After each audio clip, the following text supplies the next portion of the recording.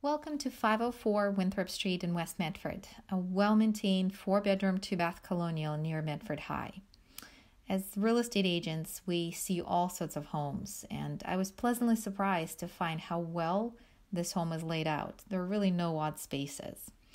Owners love the view from the living room of the trees and the view from the dining room of the beautiful willow tree in the back and the light that streams into the dining room in the afternoon. Um, the layout of downstairs is really fluid and open. Um, the kitchen has plenty of counter space, storage, and uh, you know, if you like to entertain, there will be space for your guests as well. Um, the um, I I also um, liked the brightness of the lower level. Um, typically, you don't see that in homes. Um, it could be used as a family room or playroom or a quiet office. There's a full bath and a laundry area there. Overall, this home is in excellent condition, and um, most systems are newer.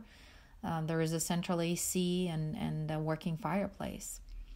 Um, the commuter rail is in um, to West Medford Station is a 15 minute walk, so you don't have to rely on the car all the time.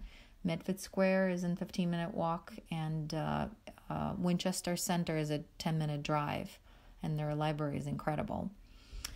Um, also, if you have pets or if you like hiking, um, you really will appreciate the location of this home because it's in five minute walk um, to Fells Trails. Um, uh, they could be pe- picked up uh, behind the high school um, owners did are gonna miss um, having a high school student who could roll out of bed and get to school on time. Um, uh, so backing into Winthrop Street um, hasn't been an issue um, for them. The only um, time when it's a bit of a challenge is in the morning, seven fifteen to seven forty five. sometimes, however, there is a traffic light on Winthrop nearby, and uh, uh, people um, cars do slow down and, and stop and let you in. Overall, um, owners absolutely enjoyed living in this home and will miss it. And uh, we hope that this video um, has been helpful, and we look forward to seeing you at the open house. Thank you.